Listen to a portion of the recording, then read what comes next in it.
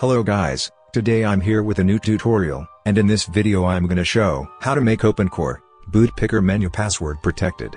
So before starting, if you haven't subscribed to our channel, then please go and subscribe to our channel and stay connected for latest updates. So guys let's start. For this purpose you'll require OpenCore password generator. For generating the password hash and password salt, in accordance with your password, OpenCore configurator, for mounting EFI partition and editing config.plist. Now, the very first step is to generate the password hash and salt. For that, open OC password gen, and here, type any password you want, and then press enter key. I'm using very simple password. Process has been completed, and as you can see the password hash, and password salt has been generated. Now, mount the EFI partition, and then open config.plist.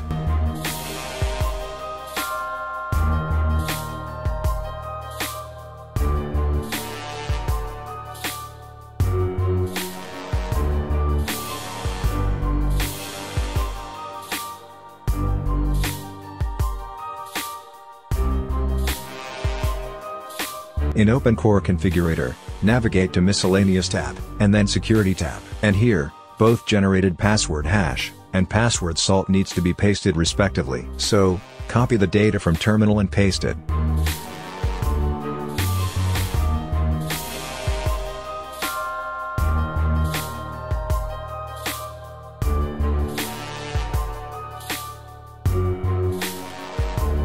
After pasting the data, make sure to check the option, Enable Password, and then save the config.plist. Close all the applications, and eject EFI partition, and then restart your computer.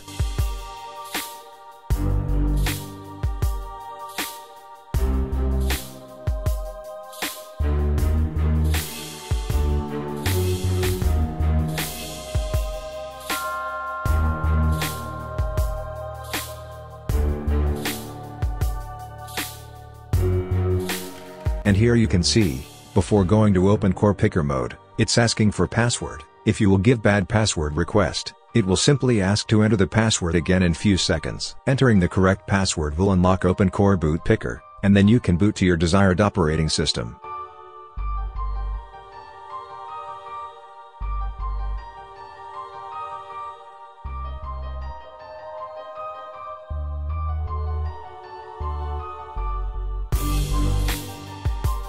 So, that was it. And we have successfully made OpenCore Boot Picker menu, password protected. Hope you guys enjoyed the video. If you have any question, just comment down below. Thanks for watching and don't forget to like, share, comment, and subscribe. And for more updates stay connected and have a great day.